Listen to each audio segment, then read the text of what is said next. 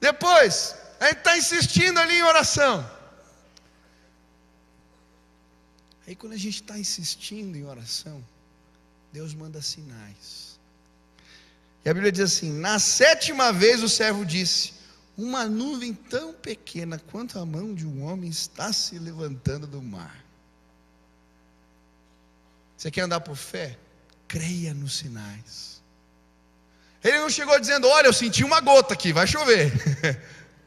Olha a garota, tá, tá, tá, tá incomodando. Ele falou: Eu vi uma nuvenzinha, um pontinho preto lá, no, lá longe. Elias falou: Ô oh, glória, vai vir uma chuva pesada. Gente que anda por fé, não precisa de muito, não. Uma nuvenzinha. Você quer andar por fé? Creia nos sinais. Sabe, quando a gente está numa vida de oração e buscando a Deus, Deus deixa alguns sinais, que são como essa nuvenzinha que a Bíblia fala, para mostrar para a gente o que Ele vai fazer. E sabe, esses sinais nos fortificam, nos animam.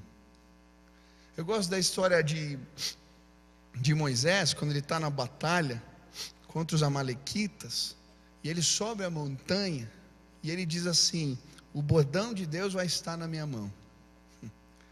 E aí o povo, eu quando li esse texto, falei, mas por que que Moisés fez questão de falar que o bordão ia estar na mão dele? Era só um pedaço de pau. Josué vai para a batalha, mas o bordão de Deus vai estar na minha mão. Tá, e daí? Era uma varinha mágica, ele ia falar assim, pim, ganhamos. Não, por quê? Aquele era um sinal. Eles podiam olhar para aquele bordão e lembrar quando ele enfrentou o faraó, jogou no chão, virou serpente. Depois ele pegou pela cauda, virou bordão de novo. Eles podiam lembrar quando ele tocou no Nilo e virou sangue. Quando ele estendeu o bordão sobre o mar e o mar se abriu. Ele estava falando: vamos para a batalha, vamos pelejar. Mas o bordão de Deus estará na minha mão. Deus está falando para nós: Vamos para a batalha. Vão, não tenham medo. Eu, eu já mandei a nuvem. Olha para a nuvem. A minha chuva de bênção vai chegar. Agora vai, em nome de Jesus. Caminha. E, querido, como é gostoso a gente viver nessa dinâmica de fé. Essa semana, teve um dia que eu estava orando e bateu um desânimo, uma canseira, uma situação lá que eu tinha que resolver na minha vida. E eu, puxa Deus. E aí, como é gostoso as coisas do Espírito. Eu falei assim, acho que isso aqui não tem jeito. Aí, naquele dia seguinte, primeiro eu recebo um, um recadinho da Cat, que aqui é a nossa líder de uma das líder, a líder de intercessão, e ela mandando um texto. Falou, oh, pastor, eu estava lendo esse livro aqui, esse texto, senti que tinha que mandar para você. Aí era falando sobre oração, Deus vai fortalecer, é bem o que eu precisava. Mas mesmo assim eu estava meio resistente, sabe? Falei, ah, sei. Daqui a pouco chegou outra mensagem. Falei, oh meu Deus. Aí a Eudinha mandou para mim, pastor, eu estava lendo um texto aqui na Bíblia, e Deus mandou mandar isso aqui para você. Você está cansado, Deus vai te fortalecer. E assim, ministrando, falei, puxa. Aí eu que estava desanimado, olhei para a nuvenzinha e falei, Deus vai fazer sim, em nome de Jesus.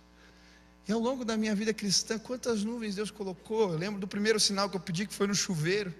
Eu estava ali desesperado, triste. Fui para o chuveiro chorar e falei: Deus, o Senhor me ama, me dá um sinal. Saio do banheiro recebo a ligação do Júlio que está aqui, meu amigo. Cara, não sei se você vai acreditar. Deus mandou ligar para você e dizer que Ele te ama. Eu falei: Ô louco, meu. Esse negócio funciona. E aí assim foi. Quando eu fui entrar no seminário, Deus deu outro sinal. É, quando eu larguei a minha empresa, Deus deu outro sinal. Quando foi para vir aqui para a igreja, trabalhar, eu falei, puxa, mas trabalhar com o meu pai, já falo que eu sou filho do pastor, aguentei isso a vida inteira, agora você pastor com ele, eu falo, tá lá só porque é filho do pastor. Aí eu pedi um sinal para Deus eu queria que pregasse, acontecesse algumas coisas que eu falei.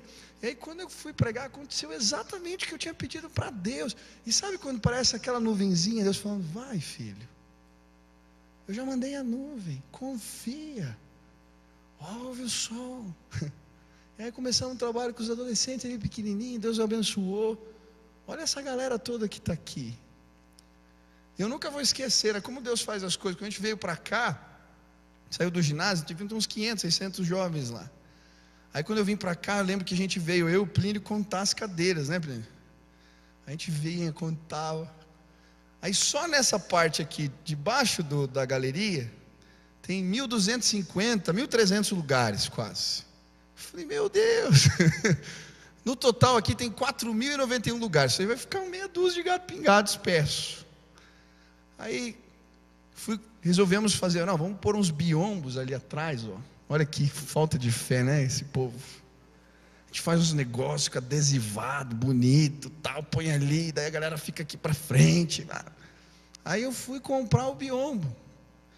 O cara foi vender acrílico para mim na loja lá, fui lá, eu e o Tiaguinho. Fazer orçamento é um negócio caro, né? Fechar tudo aqui era caro. Aí quando eu estou lá, o vendedor fala para mim, pastor, não vou vender para você. Eu, como assim? Quero comprar. Não, não vou vender. Pastor, você tem que ter fé, pastor.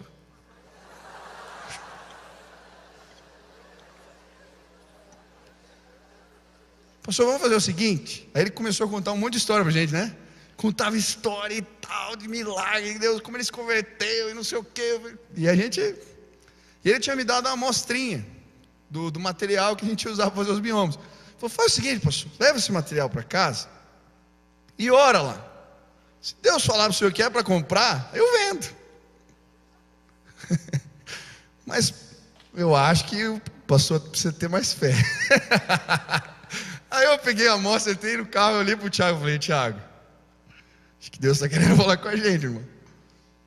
E eu lembro, daí eu fui com a minha amostra, eu orei. E sabe, eu falei, Deus, me perdão, obrigado. O Senhor está mandando um vendedor falar para mim que não precisa disso. E hoje está lá.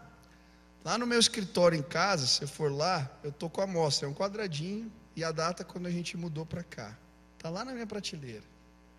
Para eu sempre lembrar que foi Deus que mandou a gente vir para cá.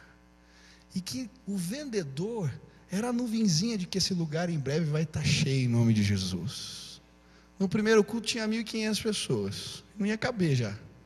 E Deus tem feito crescer a frequência a cada dia, porque Deus é bom, Deus é maravilhoso, e Ele às vezes abre os nossos ouvidos para ouvir o som da chuva. E aí o sinal vem de tudo que é jeito. É o vendedor, é o amigo que liga, é aquele recadinho que chega. Meu irmão, Deus está falando contigo. Deus já está falando. Tem coisas que você está aí dizendo que Deus não falou e não respondeu, mas porque você não está olhando e crendo nos sinais que Ele já mandou. Olha para a nuvem, olha para a nuvem. Deus já deu o recado. Ele está dizendo: Filho, se levanta e anda por fé. Ouve o som da chuva, Deus vai derramar bênçãos na sua vida, creia em nome de Jesus.